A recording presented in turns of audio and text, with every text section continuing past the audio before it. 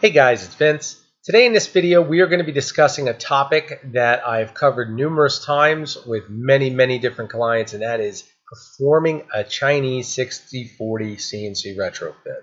Um, whether you're running the Chinese 6040 translated to 600 millimeters by 400 millimeters or uh, 3020, 3040, 6090, all of these different Chinese variables, all they basically specify is what the size constraint is of the system. That's how they've named them.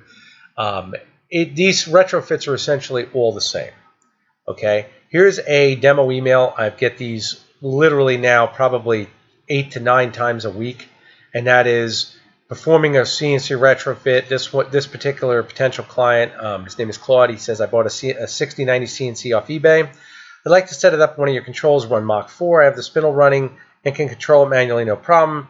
Uh, I do want to hook up for the Z-axis touch-off plate and one hookup for the fourth axis, which hopefully someday down the road I will get to use. I was thinking about running uh, your 600-ounce motors for the X and Y, but not sure if I would need it for the Z. But someday I do plan on at least some aluminum. I was looking at, and then he goes into detail about letting me know about what system he was looking at.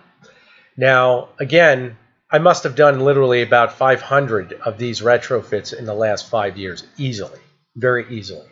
Um, that being said, there's a lot of detail that goes into performing a retrofit, and it seems to be some misconception that I get emails like this where they're brief, they're not really in detail of telling me certain details that I need to know. So it makes it kind of hard to always assess the situation and say, okay, this is the best package for you. But I'm going to break it down in this video as best as possible. So hopefully anyone reviewing this video who's serious is going to watch it to the end because there's a lot to learn here about these smaller chassis retrofits where most guys feel that a smaller chassis is a lot cheaper in performing a retrofit. Well, that can be in some cases, but in most cases, what you'll find is that the more custom work custom um, accessories we want added to the chassis, custom features we want added to the chassis. No chassis is the same, generally speaking. Most clients want specific features for themselves, like you just heard on, on this email, or they want the expandability options in the future for that. That being said, when the word custom comes in, and I've said this numerous times to past clients, I've said it to potential clients, the word custom translates to cash in any genre of anything. Okay, so when we start talking about doing custom work or rewiring or, you know, I want this done, I want that done, okay, just keep in mind your budget goes up every time we start talking about that. Okay, and I say that openly because a lot of guys don't quantify the entire retrofit they're looking at. They quantify purchasing the electronics. what they don't quantify, and this, this leads to a lot of problems in the genre, is the fact that when you buy electronics, you're buying the support that goes with the electronics, which should be included. If you're not getting the support, then look at the dollar amount you're spending on the electronics. But in that case, don't be upset. If you're paying $1,000 for a CNC chassis, let's go right here and see. We're paying a grand for a 6040, okay? Paying 1200 bucks for a 6040 and you don't get support. How do you have the right to be upset? You don't. You can't be that naive to think for $1,200 you're going to get a level of support with this that even makes sense when you can't even build the chassis in the U.S. buying the aluminum typically for that kind of parts or excuse me that kind of investment on top of doing the machining and everything else. It guys, we have to be realistic in what we're looking at. So whether you decide later on, and you will figure it out at some point, you buy this chassis, you're going to say, I want something better in terms of controllability as far as stability, you're going to look at it's time for retrofit. None of the cables with these units are shielded. Uh, none of the uh, the Chinese has done a really great job making all of these uh, enclosures for their electronics look clean. They put the VFD digital interface in there along with the VFD, which is a complete no-no because a metal enclosure surrounding the VFD, and I've said this many times, translates to a Faraday cage trapping in the EMI. So basically, you're just surrounding all of your electronics with EMI okay? And our drives are working on the step and direction signals, which are very low voltage, which are very susceptible to EMI interference, and guess what? It's hit and miss on how accurate your system is. I have certain clients that say their systems run great. I have other systems that other clients that say, oh, well, I can run two hours and then the system's all over the place. You decide which way you want to go with that. But overall, be realistic. First thing to always consider with this actual retrofit or even purchase is the fact that for 1200 bucks, you are basically buying a chassis. If you're getting electronics, consider it a gift because you're not going to get much support with that. A lot of the uh, the literature that comes with this unit, if any, are very poorly written. You're not going to find, you know, a lot of Mandarin translation into English, and these are things to consider. These are things that you must understand. You want to save the money. You think you're saving the money. You're really not. Most of the time, you're shooting yourself in the foot. And then I get told, well, I'm buying the system because it's a hobby. Okay, let's discuss this very carefully and concisely. Okay, there is no such thing as a robot that's a hobby. Hobby in CNC translates to one three letter word toy. Okay, if you consider what you're buying a toy, and when I say a toy, you could care less if a circle is round. You could care less if you go to drill a hole and it's off by, you know, whatever arbitrary amount. You're okay with that. You're okay with lack of stability. You're okay with that. Then you are buying a hobby slash toy machine. Okay? Then you're okay with it. A machine that you want stability with, a machine that you want accuracy with, a machine that you can get calibrated to under a thousandth of an inch, whether you want to or not, but have the ability to, that is a CNC robot. Okay, and that is not considered a hobby machine. Okay, and I feel that there has been a really vast misconception in this field. As long as I've done videos, as long as I've seen all these new systems hit the market where people are coming up with this term hobby, hobby is in the sense of the end user. Okay, if you are not using your machine to explicitly earn a living or explicitly make a product to resell, then the term to use is recreational use. It is not a hobby machine. Okay, it's a recreational use unit, and you are an enthusiast, is what you are. Okay, once you start producing anything and somebody sees what you've produced, and odds are they will, and I've said this in past videos, many of you have heard it, that they'll say, hey, you know, where did you get that? Well, I made it. Oh, well, how much you want for it? Can you make me one? All of a sudden, there's a business model. And it happens all the time. Now, whether or not you do it full time, that's up to you. Whether or not you understand the marketing capability and understand all the facets that go into small business, that's up to you. I've helped many clients with those areas, and I'm glad to do that. Um, I do offer consultation for that. So as you guys design your robot, your particular robot for your applications, keep in mind there is no such thing when you come to me and say you want a hobby machine that that's going to somehow manipulate the pricing. It doesn't work that way because in the end, what you expect me to produce is a robot and that's exactly what I'm doing. Even though I'm not building your chassis, remember the electronics are what make the chassis do what you want it to. So when you say to me, Vin, I want you to produce a, uh, a hobby type uh, electronics, what I look at is what you're really telling me is you want me to produce ultra cheap electronics that are stupid accurate. okay, and when we say stupid accurate, I mean extremely accurate. So let's be real. There is no such thing as hobby grade. All of my electronics are made at the same capacity if I'm selling to Boeing, who's using a G540 system, or I'm selling to you. I'm doing it in the capacity that that unit, when calibrated properly with the proper instruments, will give you a, the performance of a CNC robot. Now, again, this is a much smaller scale CNC robot. However, it is still a very, very, very capable CNC robot. And I say that explicitly because this misconception that you need to buy a huge robot to make a lot of money, and I've said this in previous videos, is complete garbage. The end user's creativity and understanding of being an entrepreneur is what dictates how much money these robots can make. You take that into uh, an idea, a carpenter, for instance, who's worrying about making signs, is not going to be near as lucrative as a dentist producing teeth. Why? I don't think I need to explain that. So we have to look at this from this perspective, okay? Substrates you're using dictate also value of what you're creating. Some, a sign made out of aluminum is totally different in value than a sign made out of wood under most circumstances, unless you're using some exotic substrate or exotic, uh, all types of exotic end mills and things. I mean, there's a lot of different variables that go into this. Overall, though, the bottom line is, is that with all these variables, that is why explicit details in an email message I really look for because it tells me who I'm dealing with. It tells me what level they're at in terms of how serious they are about getting what they're trying to get accomplished. When I get brief emails, I can only give a brief response. Thank God I've done this long enough to where I can read out a lot of where you guys are going. So much so, you see the length of this email. Now I'm going to show you the length of my reply email. Okay, these are what my standardized reply email is for that type of chassis. And this is just covering the retrofit. So you can see here, I've already got a copy and paste model set. That tells you how often I do this. Okay, and I'm covering some things he didn't even discuss. I say, hey, and of course I'll put the client's name. Thank you for your support. Okay, then you have some choice on how you'd like to control the system. You can either use a stock parallel port, which would require a computer running Windows XP 32-bit or Windows Vista 32-bit operating systems and a desktop PC with a parallel port. Now, let's break this response down very carefully. If you're going to be running a Windows XP 32-bit or Windows Vista 32-bit operating system, most likely use an archaic PC, because not many modern PCs that I know of, actually I don't know any, that actually facilitate using a parallel port. They went out in like the mid 90s, guys.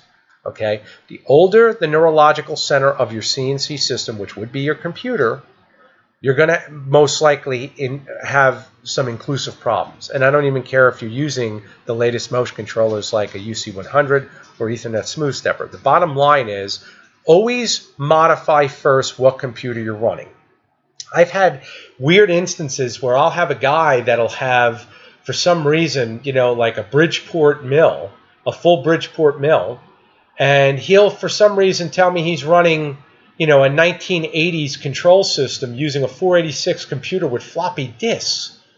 I mean, and then he's worried about where his business is going to be. And it's like, okay, but we have to be a little more competent than that. I mean, we cannot sit there and be so foolish to believe that we're going to use archaic technology and if God forbid something fails, his business model's done. Okay, I mean, it's totally done. We need to be proactive, not reactive. And that's where business, that's what separates, I feel, true business owners and real robot facilitators, so to speak, from the guys who are once again just casually going into this and you know they never prepare for anything. No extra end mills no coolant. You see guys using wd-40 all the time with the intermittent spritz instead of getting a cooling system. We need to look at this as you're going to do it right the first time and it will pay dividends with this type of investment. That being said your computer once again is something you need to invest in wholeheartedly I recommend a multi-core processor modernized. i5, i7 Intel is my favorite. You're more than welcome to go with an AMD model if you decide. It's like a Ford or Chevy uh, dispute. The big thing here is, is that we stay with a modern PC. Now, when it comes to memory, in that computer, I recommend no less than 16 gigs. First of all, memory is very cheap. Second of all, the computer is very cheap even buying a modern system i5, i7, AMD multi-core processor. The big thing here is, is that we stay with modern technology. It will make your overall support structure on your system much easier. Windows XP is no longer supported for God knows how long from Microsoft, nor is Windows Vista. So using these operating systems on older PCs is simply an excuse to claim not having the money. Yet I have clients that will always want to kind of uh, put the cart before the horse, so to speak, and say, let me re-upgrade all of my electronics, but I'll use a computer from the from you know 1985. That's ridiculous. So again, you got an old computer, upgrade that first. Then we'll worry about doing your electronics because realistically, the new computer again is the whole neurological center of CNC. Okay, right now, when you think about it, computer numerically controlled, again, is what CNC stands for. So when we look at that and we break it down, computer is right there. It's the first, uh, we're actually going through and looking at that component first. So we need to analyze this in that retrospect as far as performing any type of retrofit. I break down right here, then I go into, you could also go with a UC100 USB motion controller or Ethernet smooth stepper. Either the UC100 USB motion controller or ESS motion controller will allow you to convert the stock DB25 parallel port on the G540 into USB or Ethernet input. This will allow you to use Windows 7 through 10 operating systems in either 32-bit or 64-bit formats. It will also allow the options of using laptops as well as desktop computers. Now I'm going to go into explicit detail here, guys. For those of you who are unfamiliar with using modern-day motion controllers. Excuse me one sec. Let me just grab a drink. Okay. When you use a USB motion controller, whether it be a UC100, whether it be a Chinese UC100, they've got those out knockoffs, whether it be a, a USB breakout board, you are running a motion controller that symbolizes using 5 volts to sustain signal reception. Okay, so whether it's sending signals, receiving signals, it's using 5 volts. Your computer can only sustain that 5 volt actual voltage at a certain level, meaning it will fluctuate up, it will fluctuate down. This is one variable with USB that can cause what's known as sync errors, disconnect errors, and it goes on and on. That's one variable. Next variable is grounding. Your PC may not be properly grounded. I don't care if it's a desktop, and I'm going to paint you another little picture. Laptops are free floating grounds. Why? Because they're portable. Where are they connected to a wall unless they're plugged into an outlet? Even if they are plugged into an outlet, doesn't guarantee it's properly grounded. Okay? There are too many variables with PCs in terms of manufacturing, in terms of where they're at with uh, being assembled. Some a lot of people now build their own computers. I know I do, and it's very difficult to get a system totally grounded. You might be using a high-end power supply from you know Cooler Master, and it may not be properly grounded in terms of grounding the motherboard and every other component that goes with that. This is inherent of these systems. So when you think about that, if you have that potential for instability using USB, keep that in mind. A lot of guys don't know that. UC100 is a great controller pending all of these variables are stable. If you find that your chassis is not properly grounded, when I say chassis, I mean first of all the CNC chassis, and second of all your computer not being properly grounded, you can get what's known as a sync error. You don't know what it is? Look it up. Okay? When you go with Ethernet control, that sync error is eliminated because we're dealing with Cat7 transpiring of signals, so we have better stability. The UC100 or any USB controller is limited as well to a 15 foot cable. And that's why if you notice, I only sell a double shielded cable for the unit that's in a length of 15 foot because that is the maximum length that can be supported when we're using a 5 volt signal. We're using a very low voltage, and with very low voltage comes the susceptibility of EMI. So remember, we're dealing with multiple step and direction pulses all at once. And that all goes through that cable, and it all goes through the controller, and one misstep or direction pulse, and all of a sudden, you've got instability. So if you want a stable, or I should say the most stable system, your best bet is always to look at the dollar amount. In CNC, 9 out of 10 times, it's going to be what you pay is what's going to dictate how stable the system is. The Ethernet Smooth Stepper turnkey solution that I came out with is the most stable platform you can get with the most expandability. The UC100, however, is still going to give you the Windows 7 through 10 operating system support and using a modern computer. The issue is, is that you're using a 5 volt signal. So unless you properly ground that chassis, and even though I'm saying this about a USB system, all CNC chassis should be properly grounded. You need to go through the entire process. I've, I've outlined it numerous times. I have well over 240 videos on my channel right now. Okay, and consider how many videos I have in compare of subs actual subscribers is very low because I'm not doing FaceTime videos. I'm not doing, hey, here's a product or in, in, terms of doing machining things that you see all over the place. I'm trying to make it so you guys have a, a, a, direct reference to learn from and use and pull as needed. And I think I've done a, a, pretty decent job because, again, I get a lot of guys always telling me how wonderful it is to be able to go on there, watch a video, and most of the time pick it up really quickly. And that I'm, I'm really excited about. The big thing here is that you guys understand grounding on any system whether it be a CNC router, a CNC mill, and of course a CNC plasma system, it is not optional. It is mandatory. 3 ohm or under rating is, is where that chassis should be at measuring anywhere on that chassis. Okay, if you get a 3 ohm rating on one end and get a 10 ohm at the other end or a 5 ohm, you already know something's amiss. Drop the ohms. Okay, that's the first step. Second step is you're going to use a USB motion control, you want to make sure that your computer is properly grounded. I would definitely use a multimeter on that as well. Go through it and test it. You don't have to buy anything to test that first. You have to be aware of it. And that's why I'm trying to educate you. So when you facilitate again, what's this video worth? It's worth a lot of money because I'm giving you a lot of information that CNC Drive doesn't disclose on their website. No, you, no actual uh, disclosure of any kind I've ever seen, except on Warp 9 site, who manufactures the ESS, and they even discuss the potential for EMI. And if you notice on my UC100, I sell it for 165. You can see the price down here. Um, I sell that unit for 165 because I'm the only vendor who sells it with an EMI filter. Not only a DB25 EMI filter that filters out where the unit plugs into the controller, meaning the G540, but also the extended cable with an actual ferrite installed and it is properly double shielded. That is why I sell it that way. And again, this way we try to start fresh and then we hope that, you know, you guys understand the principles of going through and grounding the system. If you don't understand, ask before you buy. It's very simple, and that's why I'm covering this video. I hope all of you are watching this to the end because there's a lot of information here covered and it will save you a lot of headache.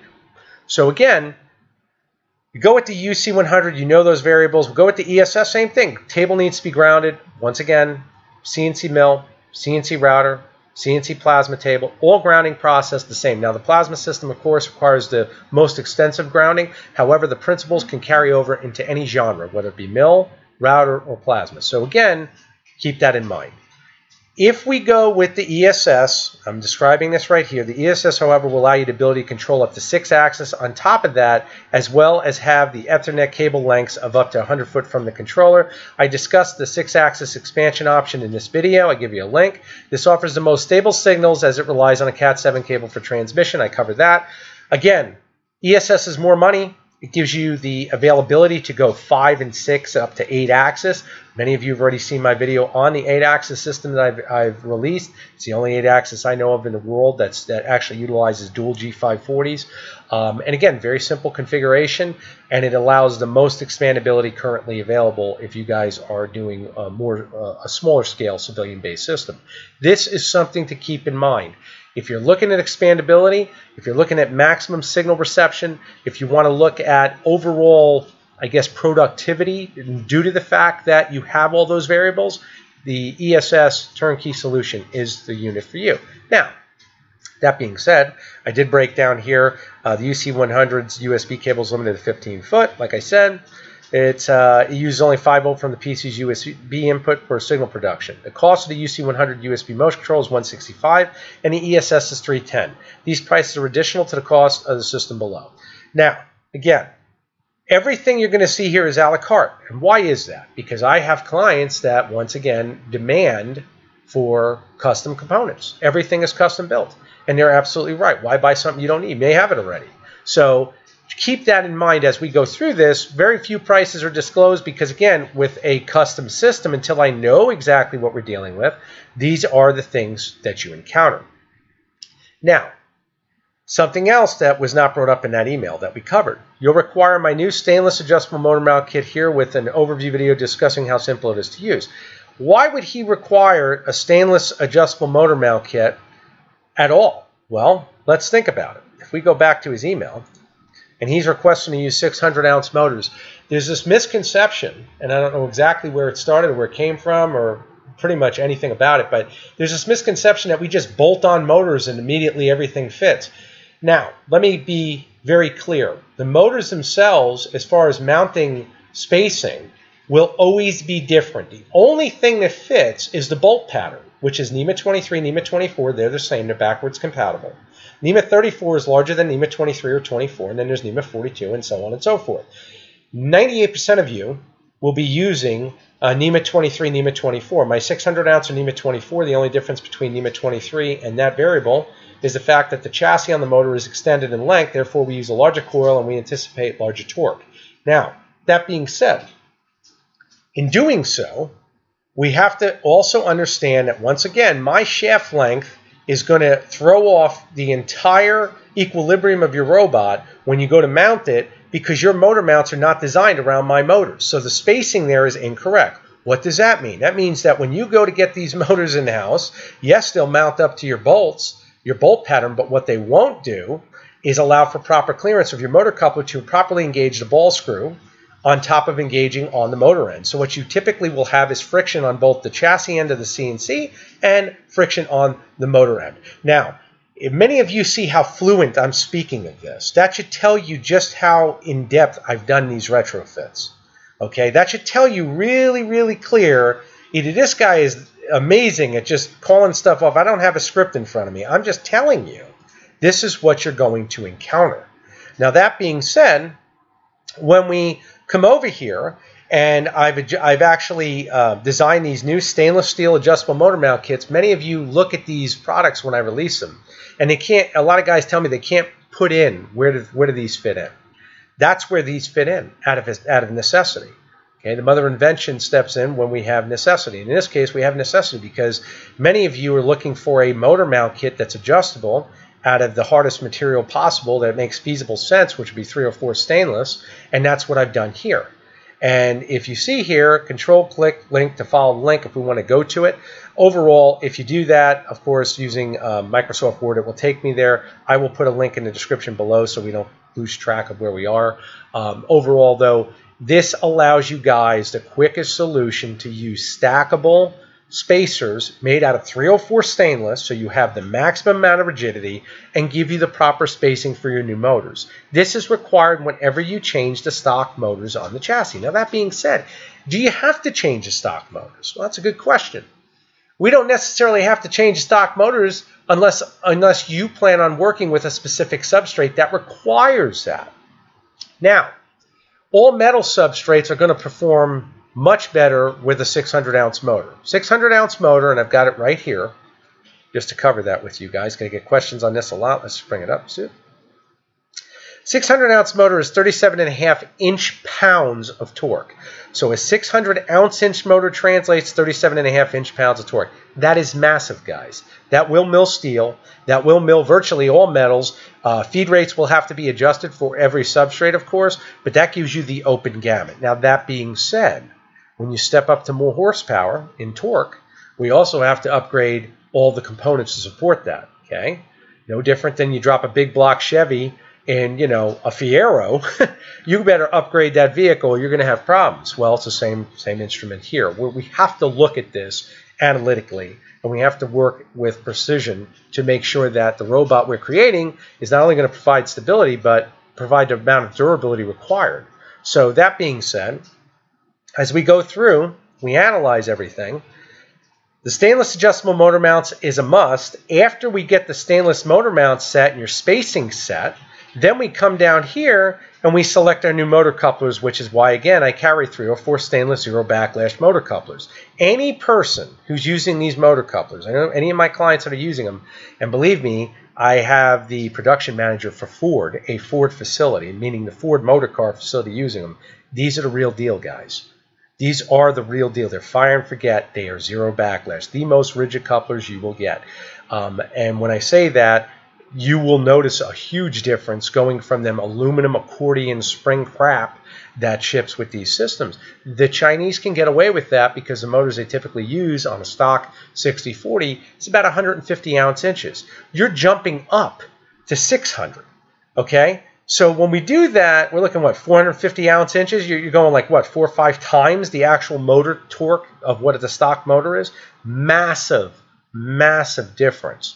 So again, we have to look at all this. So now you've got an upgrade here that has to be done on the motor mounts. Okay. Then we have another upgrade here on the amount of couplers you need. I need the sizes measured. And again, I, again, I cover that. The motor couplers will also have to be changed to support the torque increase for my motors. I carry three or four stainless, zero backlash ones. I can supply once I know the ball screw diameter that engages your motors. These are not standardized, so I would you need you to supply me the bore diameter required. Here's a look at them, and I send a link for that, so you guys can review that and start taking the measurements. In order to take measurements for the required standoffs, I made a video tutorial. Please excuse the name using it, as I made it for originally for another client. Again, I'm trying to save myself extra work because these videos, number one, they're long, but there's a reason they're long because we're covering all the details. And that's the difference. We're covering the details that many videos don't even discuss. You will find that out. Everything I'm saying is factually true in terms of every component is not an option, it's a must. And it makes a huge difference when we're all done. You're going to have one hell of a robot. So, again, you go with stainless motor mounts, extreme rigidity. We go with stainless uh, ball screw, or excuse me, uh, zero backlash couplers, extreme rigidity. As we go through, now you already know the chassis is fine. that, that CNC 60, 40, 60, 90, 30, 20, 30, 40, whatever it is, all of those chassis are fine as rigidity. You're using an excellent ball screw system as far as transmission. But once we upgrade the electronics and then put the icing on the cake with more rigidity in our motor mounts, more rigidity with our motor couplers, all of that then transpires to that robot. So as we come over here, I'm going to bring up an area that comes up a lot. Just let me excuse myself one more time. I need a drink.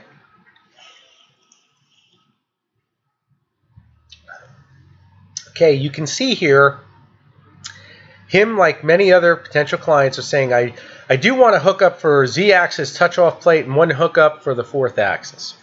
So we already know he's requesting some custom work to be done. Okay, um, The touch-off plate, you're definitely going to have to do if, if you want to do it for yourself in terms of you not using offsets to program in a specific substrate. Many of you do not realize, and or at least don't practice it, at least um, to my understanding, that you can program in Mach 3 the thickness of a substrate to have the z-axis always go to that specific thickness. Now, you automatically assume you need to do a touch off on that substrate every single time. If you're using the same substrate over and over and over again, you can program in that thickness. If you're not, that's different. Then having that actual uh, touch plate may be beneficial. If, however, you per se have like three different substrates, you can still use offsets for all three of those different substrates in thickness and just program it in. Mach 3 will remember that as an offset is a GPS location that you're programming in the system. Okay, you're using your computer's memory in, in actual conjunction with Mach 3 to program in and articulate where you want those axes to go. You can definitely do that with the z-axis. Many of you guys don't look at what's capable with the software and its lack of knowledge, I feel, more than anything else. And when one guy does something online, a lot of guys copy what he does. The issue with that is if one guy jumps off a bridge because it seems normal, everybody else jumps off the bridge because they say it seems normal. You got to be a little different and try things. If we don't try, we don't learn. The difference is if you make a mistake and you try, learn from it. And that's the difference. And when I say that, a lot of guys don't read. They'll tell me, oh, I read Mach 3 manual, and I can tell just by what they're coming back with, they didn't read it. Or if they did read it, they didn't interpret it correctly. That being said, you can see right here I break down, and this is a paragraph I'm going to skip, but I break down if a client is telling me they want switches installed. I don't recommend using physical switches. I've said this, I can't even remember how many videos. I've got now what, 240 plus online. I can't remember how many videos I said this in. And why I don't like physical switches is they all will eventually fail. They all will fail, and they will eventually leave the machine unprotected. And I still have guys coming back to me and telling me that, oh, a switch never failed. I've had guys related to uh, elevators. I've had guys tell me the most, I'm being honest, most ridiculous asinine things when switches all will fail. They're an electronic piece of hardware. They are not infallible. They will fail. The question is, are you willing to play roulette and see when yours will? maybe it'll last forever, maybe it won't. But I'm going to tell you this for a fact.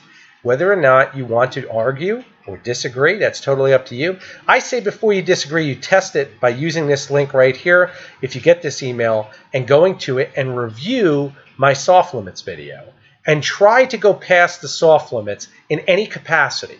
And what you're going to find is you're going to be limited. The software holds you pinpoint accuracy to the exact location you are. You will never get that accuracy or repeatability with a physical switch.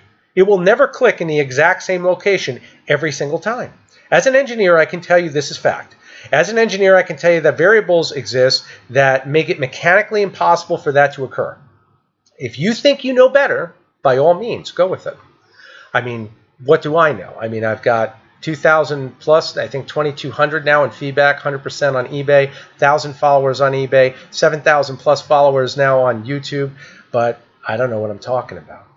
I've sold to Boeing. I've sold to Applied Materials. I've built a system for Boeing. I've built a system for Applied Materials. I've built for Exxon. We go down this road, and I still have guys arguing with me. And I'm doing this as a profession, professionally, with full disclosure, full validation of this, openly online. I'm telling you right now, be careful. and I say that openly, please be careful. A lot of the people that are disclosing using physical switches is because they are lack of knowledge of using and understanding what the capability of Mach 3 is, Mach 4 is, and of course UCCNC, which is uh, again a piece of software that came from CNC Drive. It's basically their motion control software, but overall, soft limits is not anything new. It's been around a long time, and if you implement them and learn them properly, it's amazing. It's amazing what you can do. As a matter of fact, I break it down here. The speed difference in this alone is easily 70% over typical switch method of having to bounce off your home switches first and then have the chassis move to the machining location you plan to start your job from. Think about trying this before investing in inputs. And when I say inputs, investing in additional inputs that are more of an option. Now, if you do want to go that route, I say, hey, go that route after you test. Why spend the money for me to install them or you to install them or whatever else without testing what I'm saying and see if you can do it? Because I can tell you right now, once you test it and see how simple it is, yes, you need a process. Yes, you may need to write something down to acquire the knowledge over time. But if you do it, you are going to see an amazing speed difference because all of those GPS locations are integrated then into the software and saved in computer's memory and you can just hit the button G55, G56, G57 and the machine goes right to the place you'd like the machine from. And of course soft limits will then of course act as end stops that will never fail. Pending pending you properly have soft limits set. And of course pending that you understand what you're working with must be set up. When I say properly set, I mean you must understand that the button for soft limits must be green and highlighted green, as in the video. The video tutorial takes you through everything. I still have guys message me and say they have trouble, and this it's usually because they're using hack software or they're using Chinese uh, Mach 3 registry patches and things. If you use a retail version of Mach 3 from Artsoft or from a legal vendor, and set up that software as I show in that video, you will get to truly see the power of soft limits. Over 900 people left likes, and now I think now it's like, I don't know, 100,000 or so viewed the video. And that tells me is out of 100,000 people, basically 900 people got it. Because why would they leave a like? Think about it. So what I'm telling you is try it. See? If you still want to pay for inputs, I'll gladly install them. Um, that being said, as we come up here, I break down here's the basic retrofit you'll require. And I go through.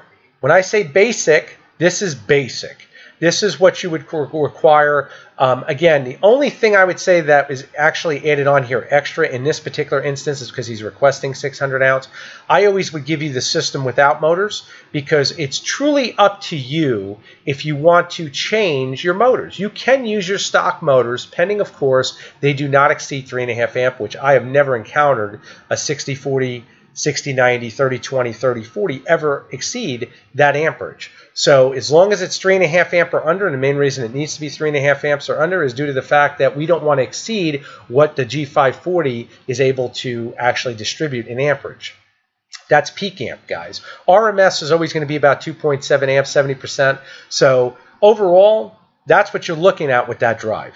And when you fa actually factor in what you're trying to do, when we look at a motor that's per se, if you're using stock motors and maybe they're 2 amp, you're still fine with that. You're only going to be looking, you know, what, 1.5, 1.7 amps overall is what you'll be running RMS. The big thing is, is that we have our resistor in place, and I get asked about this a lot. Why do we use resistors with the G540 on our motors? And the main reason we do is so that the drive will detect the resistor and limit the current at what we actually set the resistor in at the ohms rating we use. And I have a whole formula for that. It comes from Gecko. And then on top of that, I provide you that, or I provide you the actual resistors, because if you buy my motors, I incorporate them with them so you don't have any guesswork. The big thing is, is that it also allows the drive to enter what's known as idle current reduction mode. That allows the drive to reduce its current to 70% of max because when your system is no longer moving, we don't need to burn up the motors by just increasing heat. The misconception with steppers as well is that steppers, for some reason, guys always get them and they'll get their new system and they're like, man, the motors are really hot. Motors are really hot because steppers are constantly drawing amps. They're always providing holding torque, where an AC or DC or an AC motor may be on or off at a specific time. Typically, most guys only see uh, heat when the motor is on. We'll take it in this respect that a stepper motor, when it's used in a robotic application, is always on. It's always providing torque either going forward, aft, or providing holding torque, which means it's giving enough torque to where the axis can't move. So again, we're always drawing amps, and the dissipation from the coil goes through the actual steel body, the metal body, and that's what we're looking at. We're looking at how it, dis it distributes that through the iron. So when you look at that and you facilitate where it's actually going, the heat, that's why steppers get hot Okay, and it's very, very common. They get easily hot enough to cook an egg. I mean, you don't want them to, but they can definitely get that hot. I have a video on that as well from Kollmorgen. So, again, things to keep in mind. So, we see right here we've got the basic parameters of what will be included in either a DIY kit if you decide to build it or uh, the actual system itself if you decide that you would like me to build it. Now, I come down here and I give you the breakdown of different formats. Total cost of the components above assembled in a turnkey system with 600 ounce motors is, and again, it depends on where your location is in the U.S. Total of the system and DIY kit form 600 ounce 600 ounce motors you'll assemble is shipped, um, and that's DIY kit form. Total cost components above assembled in a turnkey system and shipped in the U.S. without any motors. Total for the system DIY kit form without any motors you'll assemble is shipped. And then again, if you would like to swap out your stock motors to either 300 ounce inch or 600 ounce inch, uh, you can do that as well based on the substrates you're machining, but then you'll also require changing your motor mounts as your stock motor mounts won't support the length of my motor shafts. I covered that already, but again, doing it in this format, I'm doing it basically in a recorded consultation. This is no different than I go over with many of you. I'm trying to do it so that I could knock as many birds off as one stone with this method because many of you, as you find the videos, hopefully you'll find this and like I said, watch it to the end. If you're really serious about doing a retrofit on this system, you got a lot to learn here. So I'm telling you, it makes sense. And you can see here all the variables in which case you would be selecting different motors. Now, if you say, Ben, I'm working with wood right now, I'm making money, um, I might do aluminum later on. The question is, when do you want to spend the money? Meaning, Eventually, you're probably going to want bigger motors. If you make an ROI now and you're making money and the system's already paying for itself and you've got a little money to float it, I'd say invest in the bigger motors. If you don't, keep making the money with the small motors, and when you're ready, then adjust it. The ROI is what should be based upon you investing more in your system. If the robot is producing what it needs to do and fulfilling its need and capacity, there is no need for you, as any type of small business owner, to invest. Now, you can argue that point. I have guys that will just go out and, you know, it, for some reason they're never happy in the sense that they always think there's something greener on the other side. In your in retrospect with a robot, the big thing is you want to make sure it's fulfilling its capacity. What did you buy it to do? Is it accomplishing it stably? Is it meeting your expertise and standards of what production needs are required? If it is, then don't you don't need to upgrade anything. If it's not, then the best bet would be to really quantify where am I how much am I making? Am I going to make any more money if I upgrade the motors? I'm not working with aluminum, but if I plan on working with aluminum um, and I go to 600 ounce motors, what's my ROI going to be now? I mean, I can tell you right now, aluminum from wood, under most applications, you're going to make a huge difference in money. Especially I have clients that are dealing a lot in the firearms market. They'll do grips. They'll do you know different uh, all kinds of different machining options for firearms. You are looking at a huge variable in money from going from wood to that application in that genre because again we're dealing with a different level of expertise we're dealing with you know an entirely different market on top of entirely different substrates now of course you do encounter variables with costs invested in end mills and tooling but I'm telling you, the money is an insane factor when you're looking at what it's capable of. The big thing here is is what you plan on doing. So that's why I break this down into different motor sizes. Now, in this particular email, once again, he was very specific in what, and like many of you are, what motor size he wants to go with. So I break it down. And that's exactly what I'm doing over here is I'm breaking it down. I give him the choice. I do not include prices in this, and I get asked this a lot because I don't know locations and there's different variables. And the main variable is this how are you going to pay me? Let me explain. and I'll make this as cut and dry as possible. I get guys that'll always message me, hey, will you give me a discount? Hey, I'm a subscriber on your channel. I've been subscribed for a while. I want a discount. Okay, um, I'll tell you what, give me a discount.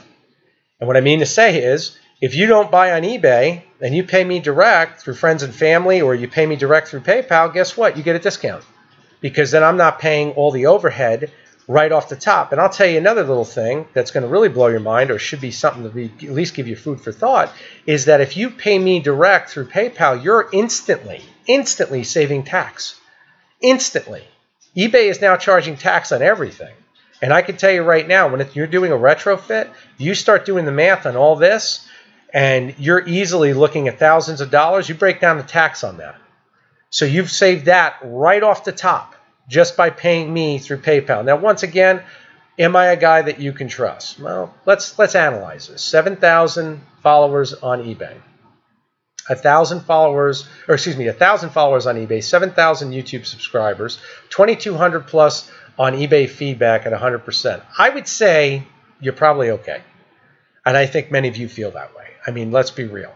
And I think that's really where it's at. I'm always willing to work with people, but by the same token, you work with me because I still have bills to pay too. And that's why, again, depending upon where you're located, I have a lot of clients internationally located, and they'll say, hey, you know, I don't want to pay this shipping. I had, a matter of fact, I shipped to a client in Malaysia this week, and uh, it was a small order. And I think it was like $100 shipping to go to Malaysia. I'm in Florida, guys. You're crossing the globe for a hundred bucks. I wouldn't complain about that. You know, in my eyes, he thought that was expensive, and then he said, "Well, I want to go even cheaper than the six to ten day shipping quote I gave him." And I'm like, "Okay, I didn't even know that you could go cheaper." To be quite honest with you, and I look because I never had anyone ever say anything about that. I mean, like I said, a hundred bucks to cross the globe. I mean, Jesus, I'm in. I'm just outside of Tampa. I know to drive to Pensacola, I probably spend at least sixty dollars in gas. So I mean, to me, to pay $100 to cross the globe to go to Malaysia, I didn't think was bad, but we actually got the shipping down. Uh, I think it was like another 20 or 30 bucks. And, you know, he felt that was a better deal. And again, I know many of you that are international will be paying VAT and different taxes. Um, for all my international orders, I prefer to go through eBay, and I'm going to tell you why. It's because eBay has what's known as a global shipping program where they offer the best insurance I've ever seen as far as no questions asked in terms of them when you make a claim, they handle everything. Um, and that makes it easier for both you, the client, and me, the seller. Because again, as a vendor, I have to protect my investment, which is your investment. My money is your money. The difference is is that it's when you get your money and when you actually uh, hand it over to me, I have to make sure that everything you get is fulfilled at what I feel I would expect.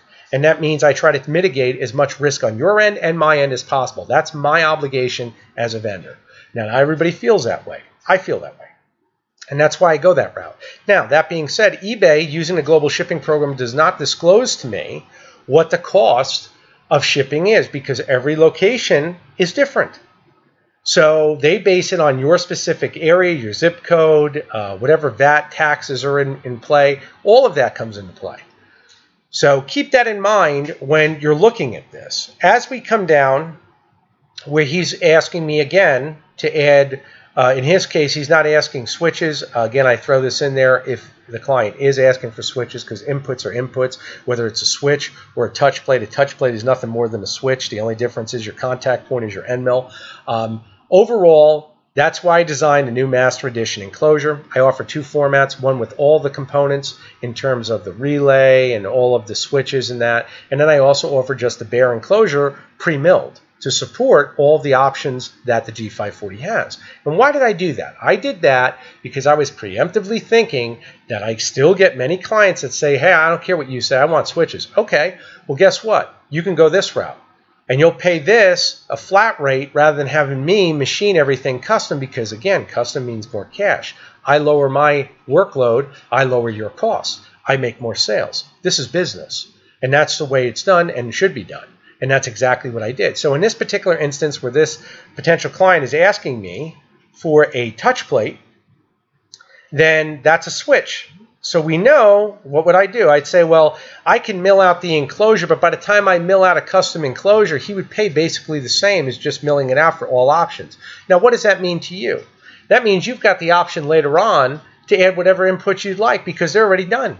So if you look at it, all the work is done. You're essentially paying the same price and you're getting more for your money. There you go. That solves that problem. Now as we come down here, Parts and labor costs for installing the switch ports with graphics is an additional blank. Here's a similar chassis completed for a past client for reference. And again, I send this, and you can see I'm sending all links, guys. These are all video links or product links. All product links have videos. Why am I doing that? Because there's no way in hell I can expect any novice just get involved in this to say, I understand all this. There's a lot to understand. You can see I've got years and years and years of experience doing this. This is not a one time thing. There's a lot of detail in these emails, and there's a reason I'm covering that. When you look at this, and when you understand that, again, the parts and labor and cost for installing switch ports with graphics is an additional. Now, I just said something here. I said parts, labor, uh, for switch ports as well as graphics. I'm the only vendor who includes custom graphics on all their systems. I use 3M8518 overlaminate used by NASCAR. I use all professional grade materials. I use a printer that's an Epson P7000 SureColor. You want to look that up? It's five cran. Okay, uh, and that's that's that's what I paid for. it. So I can tell you right now, all my stuff is pro, all of it and that's what you're paying for. So when you say to me, well, why is this, you know, three to 500 to install? Well, it's five, three to 500 install between the soldering, all the tools that I require to do it, all the knowledge I have to do it, all the transfer, the transpiring of that knowledge on graphics that are custom made to support your enclosure so that I can take my knowledge and give it to you and it's always there in front of you when you want to service your system. What is that worth? What is that worth? Well, that's what it's worth. It's worth to me that. So I think it all makes logical sense. And when you break it down, like I said, weigh it.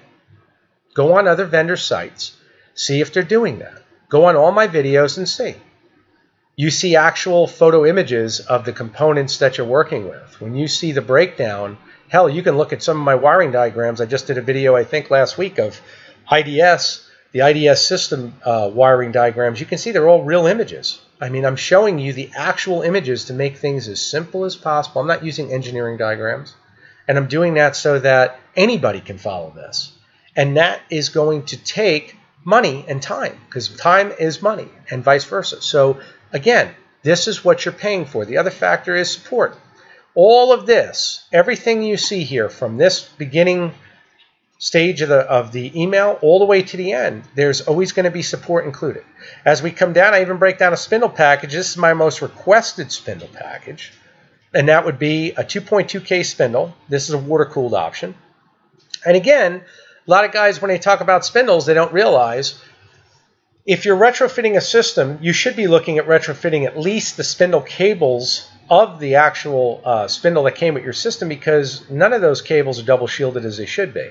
So you're mitigate, you're actually got spewing EMI all over the place. And therefore, that's why most of the time the symbol is the, the system is not stable. Um, that will generate the largest amount of EMI is the VFD. So again, when guys ask me about a spindle package that's all encompassing, that's what I'm offering here. Now I'm going to tell you something that a lot of guys don't know until you message me about a spindle. They'll say, hey Vin, I'm looking for a certain size spindle. I don't see it in your store. Can you get it? First of all, I can get anything you want. The big thing here is, does it pay? On my end. Because why am I going to carry inventory and make you pay for it? Meaning, I have to raise my prices to carry more inventory. That's silly. So what I do is I order it based on requirement. First of all, it keeps my mitigation of space low. On the second hand, it also keeps your price low because I'm not carrying inventory. Okay, I'm not automation direct where I'm carrying, you know, 5,000 warehouse or, or five or six warehouses full of inventory that you're paying for.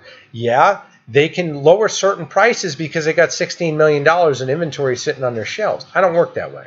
I work a little more logical than that. Um, I also don't have 50 people working for me. So when you call and you speak to me and you say, hey, Vin, how did you design the system? I can answer that question. You're not talking to Joe Blow today, and then tomorrow you call back and you're speaking to Mike Blue. It, it, there's a total different disparity in what you're dealing with. So again, with my spindle packages, one of the variables, and I should say benefits that I offer all my clients is when you order a spindle from me, you get a one year direct in house replacement from me. From me direct. That means you don't go to anybody. That means you don't deal with hassles of, oh God, I bought this overseas. You will pay more for me, but you're not getting that from anyone else. And I can tell you that for a fact because these vendors don't work that way. Okay, unless that spindle is dead, and I mean dead, usually DOA on arrival, you ain't getting that. They'll tell you it's warranted. Good luck in getting it. Very, very few times will you get it. You get a spindle that's bad, a bearings go. What you do is you purchase a spindle from me. I put you on my list as a client. If there's a problem with the spindle, send it back. Send it back. Once I get it back, as long as it's unmodified, and I know I have to say that and it's silly, but I do say it because I have received some that for some reason guys feel that they want to modify cut the end cap off, start butchering it. If I cannot be reimbursed, I cannot reimburse you. This is logical. You wouldn't go to Walmart and take apart the TV and then try to return it and then them open it up and see it and be shocked when they say no. So let's look at it logically. You buy the spindle, it doesn't work, you send it back the way you received it. I receive it that way. I'm reimbursed, you're reimbursed, everybody's happy, and you're protected. And that to me is peace of mind. I didn't think I have to explain business that way, but I do it now because I feel that there are some people out there that, that just don't understand this. I know in this field, it seems like more and more every day we go on YouTube and you see guys butchering a system or taking things apart. And, you know, you wonder sometimes where people are thinking. I'm being explicit. Think about that. The breakdown that you see here for the spindle is exact. This is everything you would require to assemble your actual cables. You can see here I'm even bold printing. You will have to solder on the included spindle connector and ring connectors to attach the VFD's terminal block. 16.3 is required because you do need a power cable to run from the outlet that you'll be planning on using to power your VFD. We mitigate EMI at both ends. There's this misconception that you can use an unshielded cable powering your VFD. You should be mitigating EMI on both ends. It's Just logical. It's balanced, guys. Okay?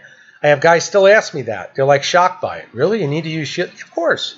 Why would you not? That's the question. I mean, if you're, you're spending the money on the cable to do it from the actual power cable going from the VFD, you certainly would want to do it from the actual power cable going to the VFD.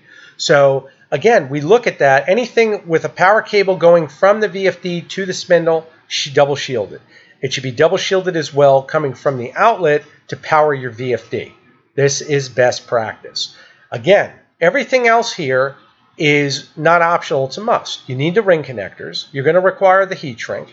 And I, again, I give you the double wall heat shrink. I give you the single wall heat shrink to build the exact same cable that I do. Um, the big thing here, again, your 20 collet set. I know China now, some of them include the, the uh, collet set, some don't. The other factor is shipping in the States, these spindles are heavy. And I mean like 14 pounds heavy. Just the spindle. That's not the whole package. So when you factor in the whole package and everything, we're looking at, you know, depending upon where it's going to, it can be pricey. So keep that in mind. But that one year warranty, like I said, it can happen six months, it can happen nine months. You pick and choose when it happens, but you're covered. You're covered. So, and again, no runaround. Contact me. Vin, I'm going to send it back. Okay, send it back. Boom, you'll get a new one. Now, that's one time. Okay, once again, I told you I, I sign your name in. Once your name's on that list as a client, you get it one time. That's not, I can't do this, you know, every year. You would have to buy a new spindle the next following for that next purchase, and then we can do that again. I can re-up it again. But if you break that down, guys, that's that's an amazing warranty. Everybody else, they're going to want to analyze the spindle, take it apart. That'll take a couple weeks. See if the manufacturer wants to look at it. That'll take time. I don't have that. So keep that in mind. Again, make sure you're getting a spindle with ABEC rated bearings. If you're not getting ABEC rated bearings, you don't know what they're using. Um, a lot of them claim to be using German bearings, this, that, and the other thing. You want ABEC bearings. Um, just keep that in mind. Everything there has got to be in place. But overall, now you've seen the level of detail. And what's amazing is when I tell guys, you know, a consultation for this type of system is usually an hour, this video is now done in 58 minutes. And I've covered every amount of detail that I feel you guys need to understand. And if you guys are wanting to perform a retrofit on this system, you have all of the detail right here in your in your education, so to speak, to actually go through, use this as a resource, and you'll know exactly what you need to know. Now, I realize that a video like this is going to raise a lot more questions. A lot of my videos do. I'm going to give you, again, in the beginning of the video, as well as the end. My contact information direct, storm2313 at gmail.com. You can message me there for consultations, questions, whatever you need. Message me uh, quotes. The next thing is you can also message me through my eBay store. So either one of those contacts is fine. Um, again, if we're doing a 6040 retrofit, if we're doing a 6090 retrofit, any of these chassis, 3020, 3040, all of the Chinese chassis within that size, this essentially all goes for that. As a matter of fact, it'll probably go for many other chassis. However, the only variable would be the transmission. We're dealing with motor couplers. You're always going to be dealing with a ball screw transmission. You're typically not going to be dealing with a rack and pinion. So again, that's the one variable. Other than that, you guys have learned a lot. I think I've made myself explicitly clear, and I hope it's helped many of you uh, to all my subscribers watching this hour video. If you watch it, I really do appreciate it. Thank you all for your support. Take care.